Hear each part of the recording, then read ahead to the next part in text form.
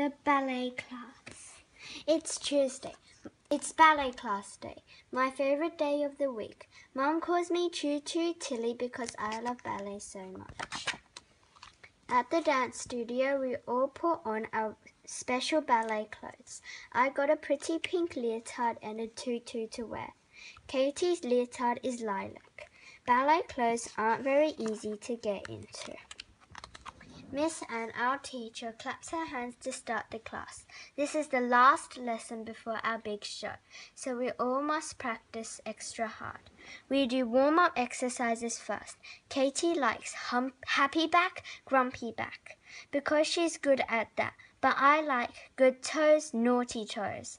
Sometimes my toes get a bit mixed up, but Miss Anne says I'll be all right if I just slow down a little. Next, we go through our positions first, second, third, fourth, and fifth. Then we practice our curtsies to the Queen and bows to the King. Mrs. Howard plays a butterfly tune on the piano, and we all flutter and float and flap our butterfly wings. Then the music changes thump, crash, whomp. It's a dinosaur song. We all stamp and clomp in time to it. Jake loves being a dinosaur. We we do leg bands and jumps next. Miss Anne calls them pliés and jetés. That's leg bands, leg bands and jumps in French. When our moms and dads come to collect us, Miss Anne says, Remember to practice your own dances for the show next week, please.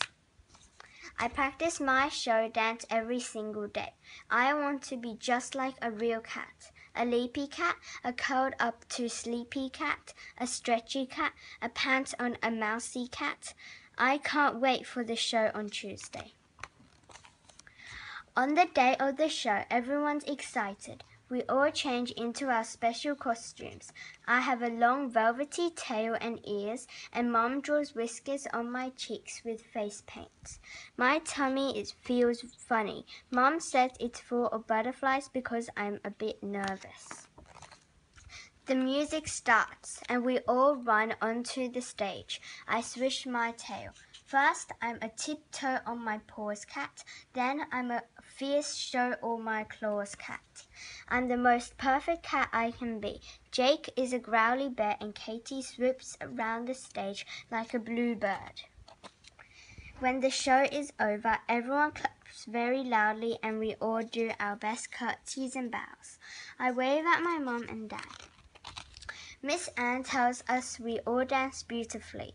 Mom says my dance was lovely. Dad says he thought I was a real cat. I say meow, which means thank you. Now I can't wait for next Tuesday. I love ballet.